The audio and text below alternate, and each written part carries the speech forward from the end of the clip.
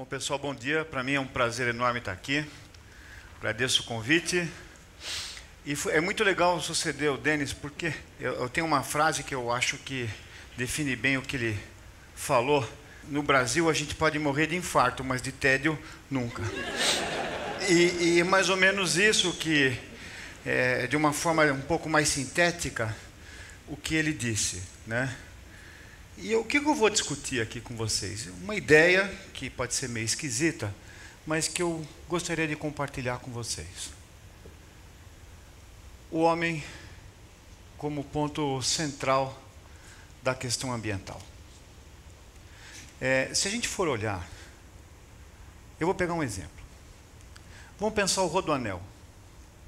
Nós estamos fazendo uma enorme avenida que circunda, uma estrada que circunda São Paulo, e para isso a gente teve que fazer estudos de impacto ambiental vários, para não impactar fauna e flora. E para fazer uma avenida por uma região residencial? E para o CET colocar uns cones na rua e desviar, capilarizar o tráfego? Qual o estudo de impacto ambiental que é necessário para ver?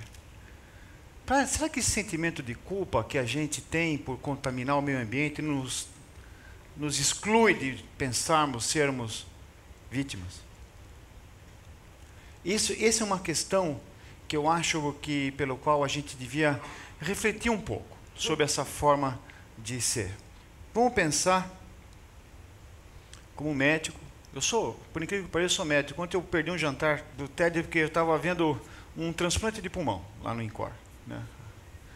E, mas eu tenho essa vida de pesquisador em meio ambiente. Mas vamos pensar, vamos pensar que o planeta é um, é um, é um indivíduo. Cada país é um órgão. E nós somos os bilhões de células que constituímos esse órgão. Vamos descrever a doença planetária. Vamos pegar um paciente com febre. Não está esquentando? Com uma dependência química de uma droga chamada petróleo. Uma insuficiência uma obstrução arterial difusa porque tem os congestionamentos das nossas artérias estão obstruindo o fluxo. É uma obstrução de vias aéreas pela qualidade do ar, que é ruim. Diabetes, porque eu não uso energia eficientemente. É, insuficiência renal, porque eu não consigo colocar para fora os meus dejetos. Alguns tremores de terra, uma certa flatulência externada sob a forma de tornados e e, e tufões, uma certa impotência, né, vamos admitir, entre quatro paredes, porque a gente não consegue eh, tomar uma atitude necessária para isso. E uma disfunção cognitiva, né, como se fosse um Alzheimer precoce, porque eh, os neurônios dirigentes eh, acham que o planeta não vai esquentar mais do que alguns centésimos de grau até as próximas eleições. Esse é o quadro clínico do paciente. E se o organismo está doente, as células estão doentes. Na cidade de São Paulo, morrem 4 mil pessoas a mais por ano devido à poluição do ar. É, por AIDS, é, é um pouquinho menos de mil. Tuberculose, 500. Por que, que a gente não considera a poluição como um problema de saúde? Quem legisla sobre meio ambiente é o Ministério do Meio Ambiente, que nada entende de saúde, e, por sua vez, a saúde não entende o meio ambiente como sendo parte dela. E nesse momento a gente está fora, o homem está totalmente despreparado. Vamos voltar ao nosso paciente. Quando esquentar o planeta, de acordo com os modelos, se os modelos climatológicos estiverem certos, aonde vai desertificar? Em quem já é semiárido. E a nossa cisterna não vai ter chuva. Ou se tiver, vai chover muito antes, de tal forma que a capacidade de armazenamento não consegue dar conta, como aconteceu esse ano no Nordeste. As cisternas não aguentaram, os açudes não aguentaram. 30% da população do planeta vive em rios que nascem nos Himalaias, nas geleiras dos Himalaias. Quando acabar a água para esse povo, para onde eles vão? Se a escassez de alimentos e a escassez de água ocorrerem, nós podemos imaginar um novo fundamentalismo. Temos o fundamentalismo político, o fundamentalismo religioso, vamos ter um novo fundamentalismo ambiental. Nós vamos aumentar o cinturão de pobreza em torno das cidades. A malária aumentando, nos, nas, invadindo regiões temperadas, dengue. Todas as doenças carregadas por mosquito vão afetar o homem, mas vão afetar igualmente? Elas vão afetar de forma homogênea? 40 centímetros a mais de nível do mar vai afetar igualmente a Holanda ou Samoa? Essa é uma questão central que tem que ser colocada, porque há o homem agressor, mas também há o homem impactado. E é sobre ele que nós vamos discutir. Eu sou um patologista, né? E eu tenho uma sala temática aqui na Faculdade de Medicina do Arnaldo voltada para o cemitério do Araçá. E, e, a Faculdade de Medicina fica exatamente entre o Hospital das Clínicas e o cemitério do Araçá. Nós ligamos esses dois compartimentos. Então eu olho para o produto final das nossas ações. E, e eu, eu vejo né, o carro da moda dos professores titulares da Faculdade de Medicina é o Cayenne. É o máximo, né? Cada um compra um, todo mundo compra para ficar igual. Um faz xixi no poste do outro. E a, a gente está lá e eu vejo que o reloginho da CETESB marca um tanto de poluição na doutora Arnaldo. Mas será que a dose da pessoa que está dentro do Cayenne com ar-condicionado funcionando no modo de recirculação interna tem a mesma dose que o indivíduo que está no ponto de ônibus esperando? O tempo de permanência das pessoas no, num corredor de tráfego, quando você é mais pobre, é muito pior, muito maior. A dose é maior. O ônibus velho, que não pode rodar no corredor 9 de julho, ele desaparece no ar? Não, ele vai para a periferia ou vai para cidades de menor porte. O aterro sanitário, São João, que está se esgotando, está fazendo com que São Paulo exporte lixo para outras cidades que recebem por isso. Então não é só a Inglaterra que empacota a fralda suja e manda em container para a gente. Nós fazemos isso. Isso é que eu chamo de racismo ambiental. Assim como existe um novo fundamentalismo, existe uma resposta a isso, que é a chamada, o modelo prevalente hoje no mundo é ordem pela força. Não é ordem pela, pelo compartilhamento. E no modelo de ordem pela força, a força econômica determina esse poder. E isso explica que nós praticamos uma forma de racismo que, para mim, não tem justificativa ética como qualquer outro racismo. Um caminhão vendido no Brasil polui 90% mais do que o mesmo modelo vendido na Suécia e fabricado no Brasil. Qual que é a razão de saúde para explicar que o pulmão do brasileiro é 90% mais resistente do que o do sueco?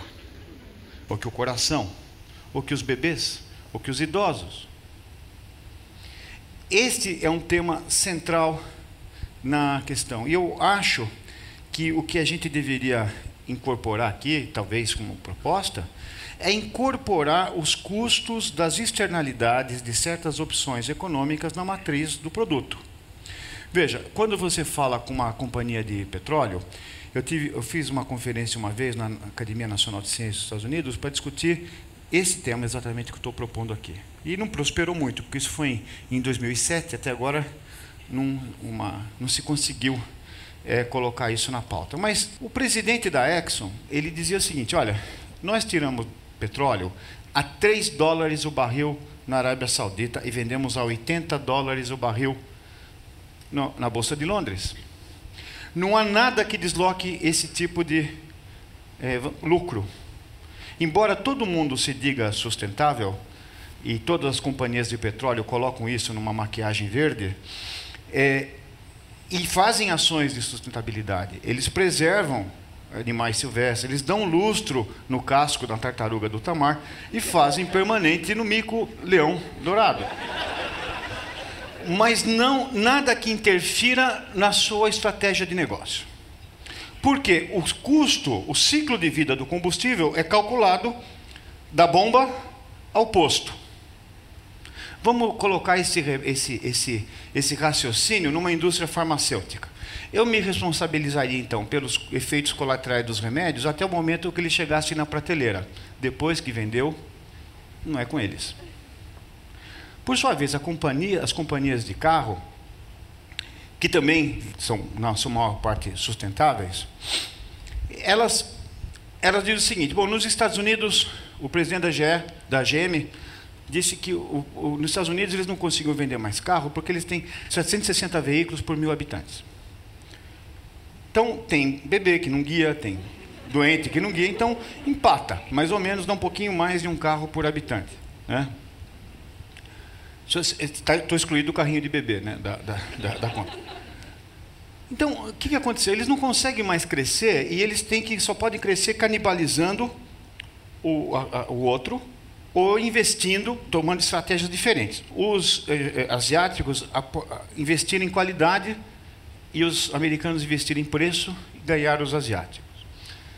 Então, para onde vai esse povo? Né, na Índia, tem ao redor de 30, 40 veículos por mil habitantes. Vamos vender carro na Índia. O custo de rua, o custo de ponte, o aquecimento, é, não é com eles.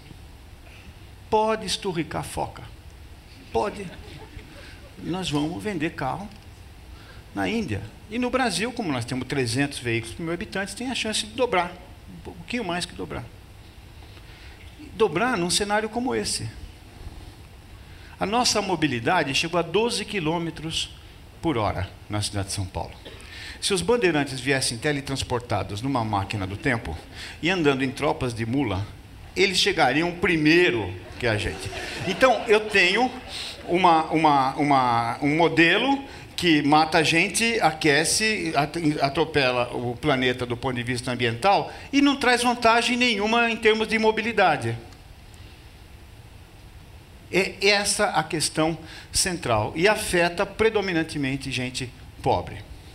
Os profissionais de saúde, durante muito tempo, não acharam isso como sendo um tema, mas começaram a acordar. A Associação Médica Mundial montou um grupo que eu fiz parte para apresentar uma pauta para Copenhague, que foi referendada agora numa reunião em Delhi. E disse que e pautou a ação por alguns tópicos. O primeiro é esclarecimento, é isso que nós estamos discutindo aqui, esse paradoxo.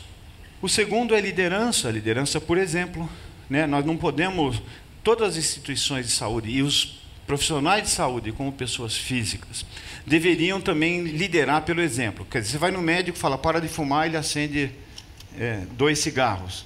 Também não pode sair com cocaína, você concorda? Você operou, você tem que adotar métodos mais é, é, sustentáveis de fato. Parcerias com a sociedade para poder propor medidas como a cisterna, como outras coisas. Não podemos ficar naquela situação de ficar só curando, só tratando das, da, da, da mitigação, né? da adaptação, melhor dizendo. Nós devemos discutir francamente os aspectos éticos dessa questão. O fato de que quem vai pagar a conta são as pessoas que menos contribuíram, não tem justificativa moral ou ética de forma alguma. Nós temos que trabalhar com a noção de limites, assim como nós temos limites para colesterol, para como posso comer de gordura trans, quanto eu posso beber, nós temos que trabalhar o conceito de limites. Limites que são muito óbvios. por exemplo, esse relógio aqui, ele está escrito que vai a 100 metros de profundidade. Eu nunca passei de um. Então, essa questão, né, você vê aquele 4x4 Turbo Maxi V6, é, é, você compra o sonho de subir num penhasco, eles colocam no, no, no outdoor aquilo, mas você nunca encontrou um penhasco para subir. E essa é um problema que tem que ser trabalhado, quer dizer, dentro de, debaixo de cada coisa do carro, esse, esse modelo contribui para aquecimento global, assim como tem para o cigarro. Contribui para a emissão de poluentes, ele contribui para entupir as artérias da cidade, porque ele ocupa muito mais espaço do que o outro.